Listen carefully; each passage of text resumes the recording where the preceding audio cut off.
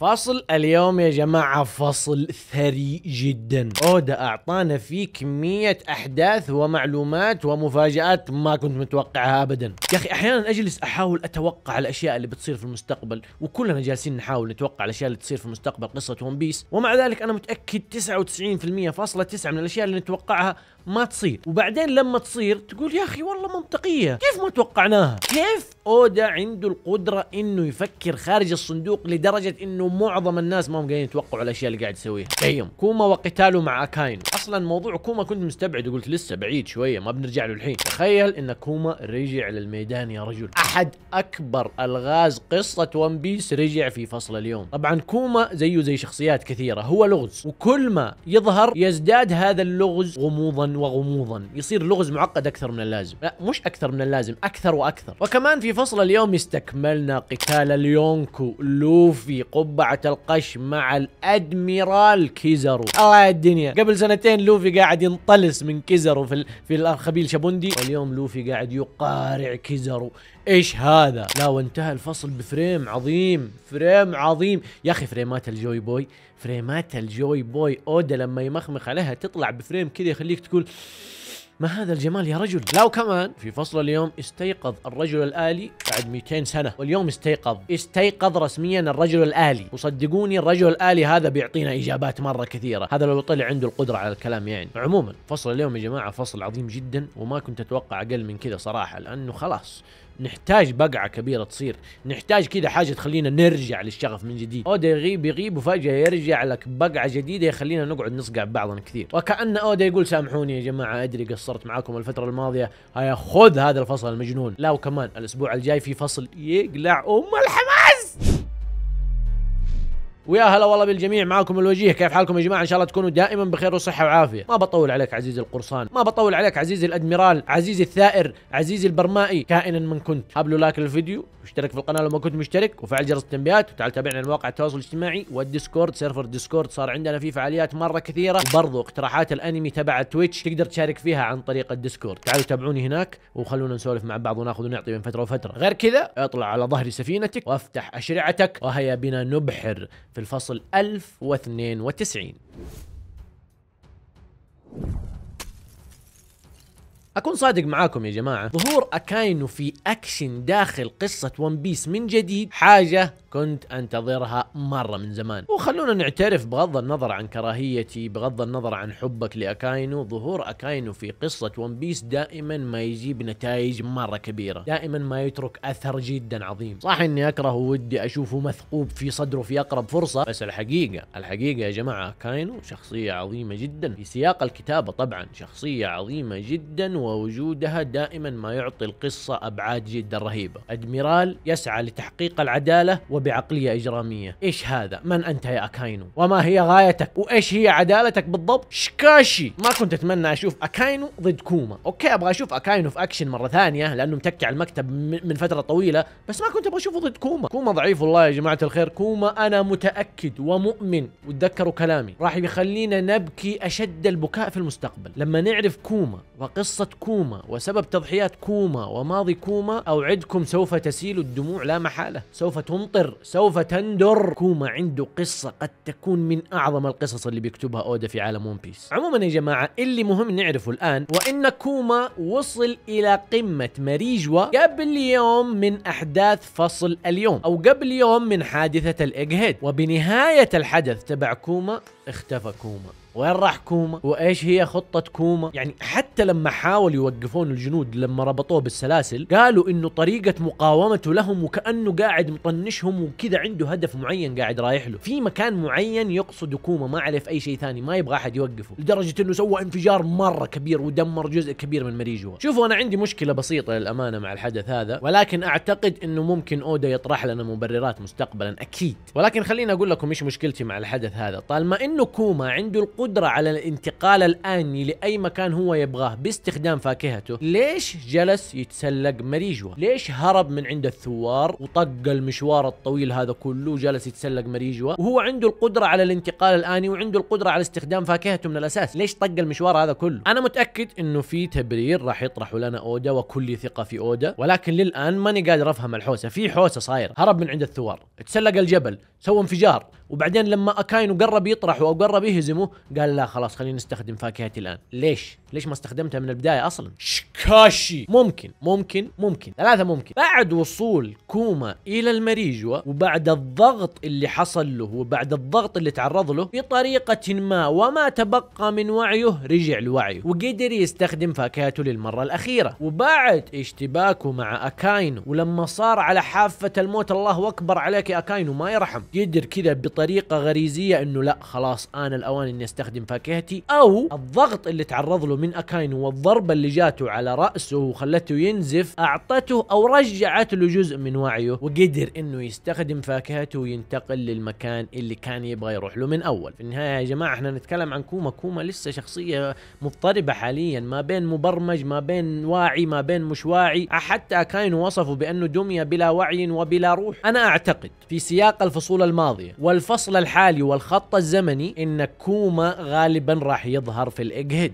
ليش؟ كيف؟ شلون؟ إزاي؟ أنا مش عارف. لكن ما في خيارات ثانية مطروحة حرفيا. بداية الحدث كتب لك أودا كذا قبلها بيوم قبل واحد يوم. وما طرحها أودا بهذا التسلسل عبث إلا إنه جالس يمهد غالبا وبنسبة كبيرة لظهور كوما في أحداث قادمة أو ممكن في ال Egghead. شوفوا يا جماعة أنا جالس أتكلم وكأني حليت اللغز. wow حليت اللغز المعقد لكوما. مستحيل. كوما ما زال لغز كبير بالنسبة لي صراحة. وما أعتقد إن أمر تحليله سهل أصلا. しかし أنا عندي شعور وزي ما قلت لكم إن كوما بطريقة ما رجع له وعيه. yep كوما وعيه رجع له. هو كان بلا وعي وفجأة رجع له وعيه بالذات بعد ما ضربوا أكاينو. أنا قلت الكلام هذا قبل كذا بس بفصل لكم فيه شوية الحين. كوما مبرمج على أشياء معينة. قاعد يحمي سفينة ساني جو قبل السنتين أو خلال السنتين وقاعد يحرر العبيد. في برمجة معينة داخل كوما قاعد يؤديها وأعتقد إن وعيه ما زال موجود ولكن بنسبة بسيطة. يعني وعيه قاعد يتلاشى ولكن بعد قتاله مع أكاينو وبعد ما ضربوا على رأسه وبعد ما قطع له رجله استعاد وعيه بشكل كامل وقدر إنه يهرب من المكان أو من مريجو لأنه بعد ما كوما اختفى من مريجو وهرب أكاينو كذا جاله فلاش باك بينه وبين بوني. وكأنه كذا أكاينو شك في قناعاته. أكاينو مؤمن إن كوما بلا وعي. خلاص هو صاير كذا آلة ما من امها فايدة. ولكن بعد الفلاش باك هذاك اللي صار بينه وبين بوني لما بوني كانت تقول مستحيل مستحيل أبوي يخسر وعيه.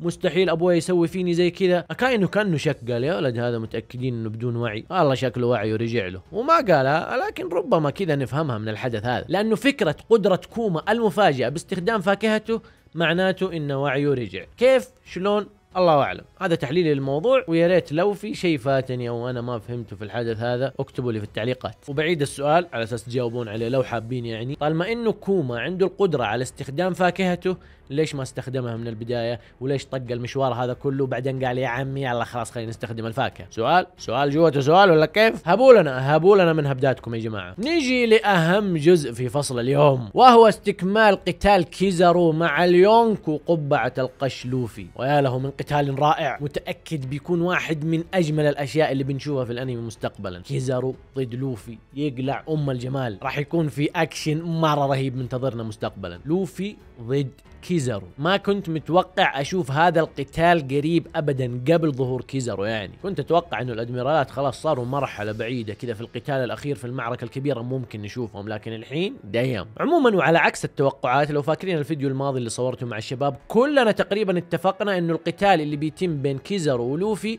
راح يكون قتال سريع ما راح ينتهي بفوز ولا بهزيمة. مجرد حاجة سريعة كذا أكشن سريع يصير بين لوفي وكيزارو ويهرب بعدها الطاقم من جزيرة ال Egghead. هذا اللي الكل تقريبا توقع. ولكن لا يأبى أودا إلا إنه يخرج عن توقعات الجمهور ويسوي شيء مختلف. أعتقد وبناء على اللي شفناه والقبضه اللي انقبض فيها كيزرو في النهاية واضح إنه كيزرو بينهزم. كذا خلاص لوفي مسكه يا أبويا طبقه بين يدين وين بتروح؟ على وين يا حبيبي؟ أوكي مستخدم فاكهة الضوء ممكن يختفي الله أعلم. ولكن لوفي والله يا مجود وتجويده كأنه ماسك سندويتش وين بيروح؟ عموما خلونا نرجع شوية ورا أو نظل في الحدث اللي قاعدين نتكلم فيه. إحنا قفزنا للنهاية. لفت انتباهي يا جماعة في القتال اللي صار ما بين كيزارو ولوفي إن لوفي كان مستخدم ال Gear الرابع وبالتحديد طور Snake Man. وهنا أعتقد إن أودا حب يورينا إنه بصيرة لوفي ما عادها زي أول وكأن لوفي عارف قيمة خصمه. ما استخدم ال Gear الثالث ولا استخدم أي طور من ال Gear الرابع إلا ال Gear الرابع Snake Man. لوفي عارف إن قتاله مع كيزارو يتطلب haki تصلب قوي جدا علشان يقدر يضرب كمية الضوء الهائلة هذه. وكلنا نعرف إن ال Gear الرابع وبالتحديد Snake Man يتمتع بقوة haki تصلب قوية جدا وكمان مرونة مطاط عالية جدا. مطاط وقوي متصلب في نفس الوقت. فلوفي قال لك يا عمي شوية أدميرال ما يحتاج أستخدم معاه إلا ال Snake Man ولكن برضه لوفي عنده بصيرة ولكنه استهان بخصمه شوية. أنا كنت أتوقع أشوف استخدام ملكي. تغليف ryuo يعني لا, لا ما في. Snake Man بس يا حدك يا كيزرو.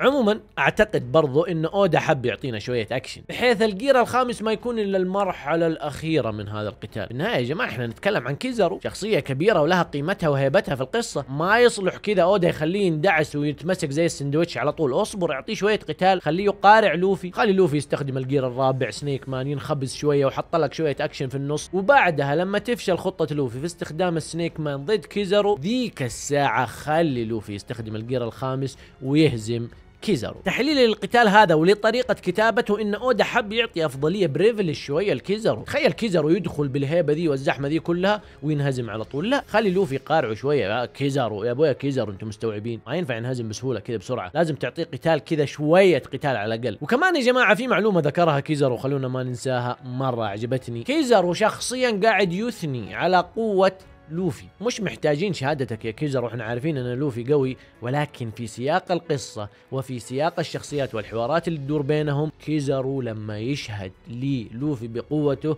فهنا إحنا تأكدنا إن لوفي مش سهل. لوفي أصلا إحنا عارفين إنه مش سهل ولكن كيزارو شخصيا قاعد يشهد له حاجة صراحة يعني تستحق الإشادة والفخر. لوفي قبل السنتين كان شيء والآن شيء ثاني يا كيزارو. إيش تحسب يا حبيبي؟ لوفي الآن yonko ومنها إلى ملك القراصنة بإذن الله. عموما خلونا نعود أدراجنا شوية. لوفي كان يسأل كيزارو أنت إيش تبغى هنا؟ ليش تبغى تقتل فيجا بانك والعجيب إن كيزارو رد عليه كذا وقال له نقتله. أقتله؟ مستحيل أقتله هذا صديقي صديق قديم كمان. أنا ما أدري هل هو من جد ولا يستهبل كيزر لأنه بعدها قال أنا جاي أبغى أخلص على فيجا بانك. فواضح إنه ممكن جالس يطقطق على لوفي. أقتله؟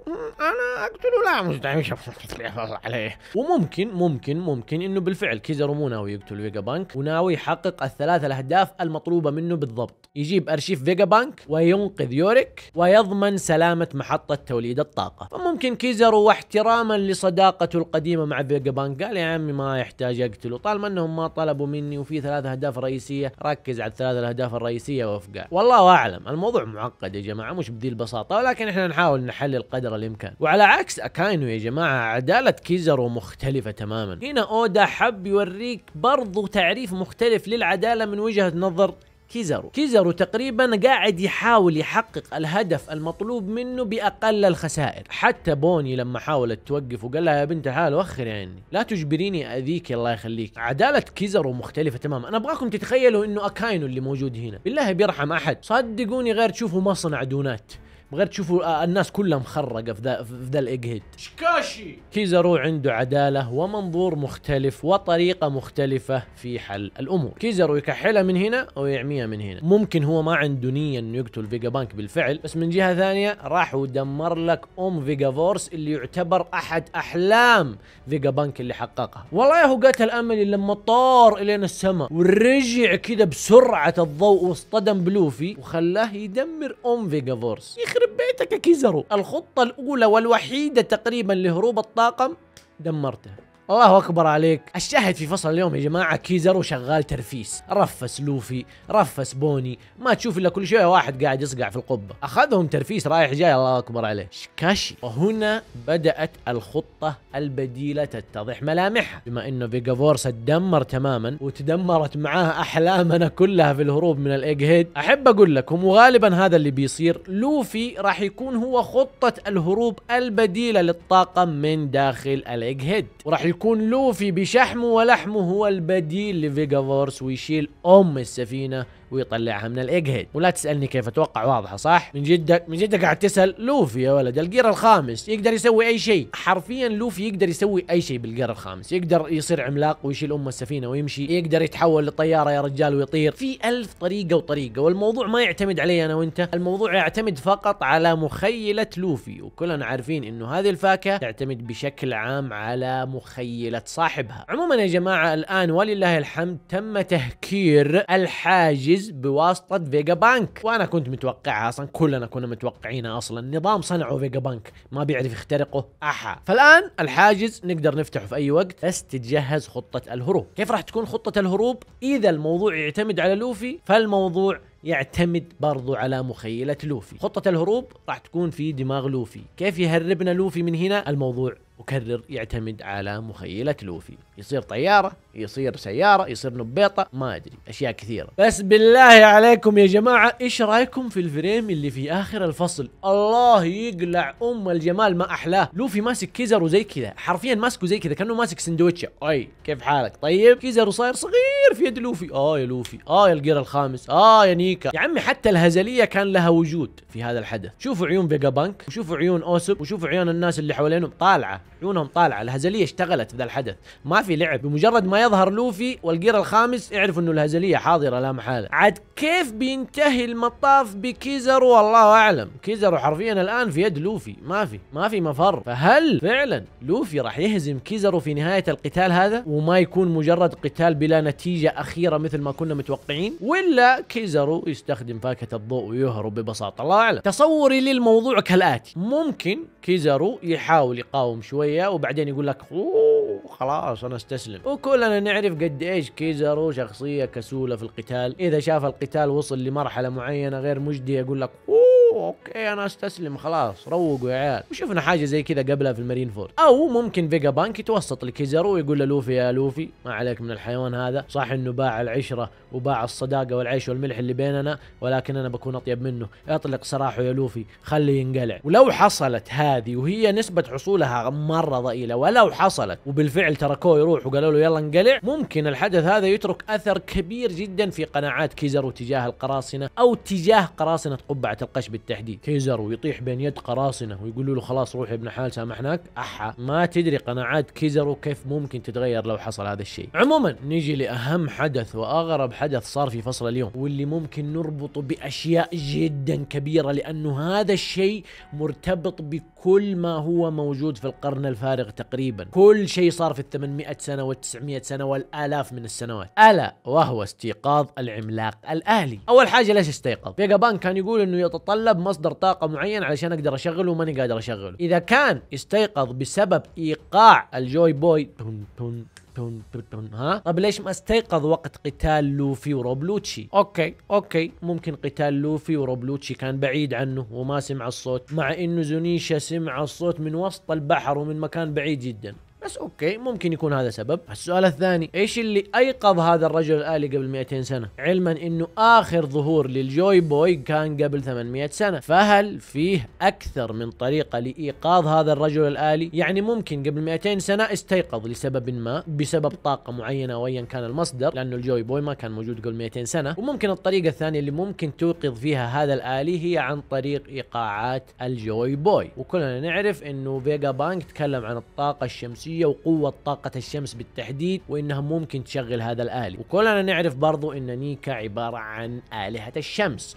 شمس. فممكن هذه هي الطاقة. لوفي عبارة عن طاقة تتجول في الأرجاء. وبمجرد ما يتخذ هيئة ال Gear الخامس يشغل أي شيء له علاقة بطاقة نيكا أو الطاقة اللي تعتمد على الشمس. وبرضه في احتمال ثالث لا والله ممكن استيقظ بسبب الطاقة الهائلة اللي أصدرها كيزرو في فصل اليوم. شفنا كمية طاقة عجيبة وضوء هائل أطلقها كيزرو لدرجة أن لوفي يا رجل غطى على عيونه نور قوي جاي من السماء تجاهه كأنه كان يطالع في الشمس كذا سوى لوفي حرفيا. فممكن كيزرو أنتج كمية هائلة من الضوء مقاربة للشمس وبسببها استيقظ هذا الرجل الآلي والله أعلم.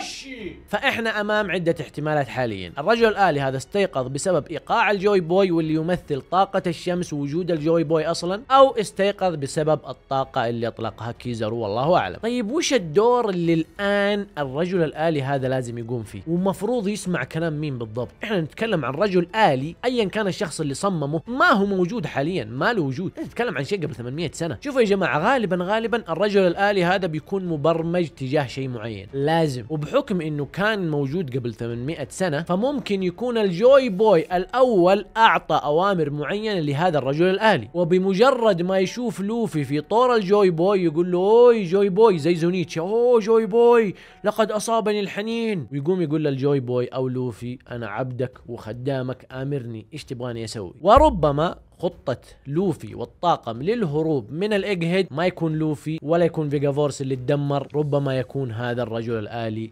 هو اللي خرجهم من هذه الجزيرة شلون؟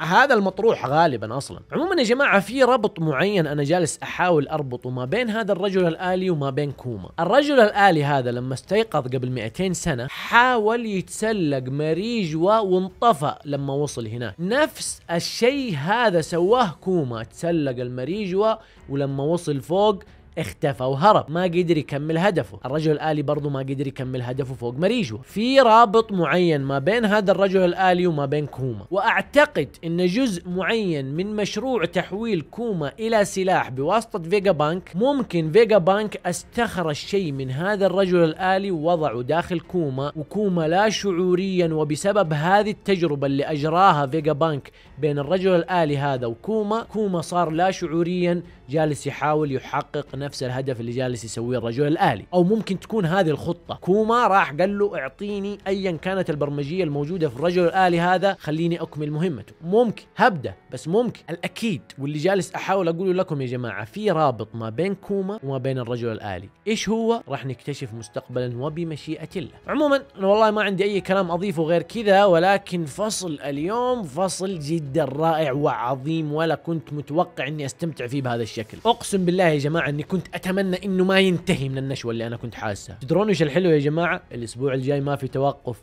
واللي بعده بإذن الله إن شاء الله أودا ما عاد يوقف كذا يستمر. يعني أكيد في إجازات في توقفات بسيطة. بس ما نبغاه ينقطع ويسوي بنا الغربلة ذي اللي سببها لنا مسلسل نتفليكس الكويس okay؟ عشان لا نزعل الناس. هب لنا يا أودا هب لنا يا أودا المزيد من الفصول جاوب لنا على كثير أس... أسئلة كثير يا أودا. خلاص. خلاص خلاص يا أودا اعطينا شوية إجابات تكفى الله يخليك. الله يعطيكم العافية يا جماعة. إلى هنا نكون وصلنا لنهاية الفيديو. هبدوا like لو عجبك الفيديو اشترك في القناة وتعال تابعنا على مواقع التواصل الاجتماعي والديسكورد وتويتش. كل حساباتي موجودة في صندوق الوصف. كان معكم الوجيه أشوفكم في الفيديو القادم.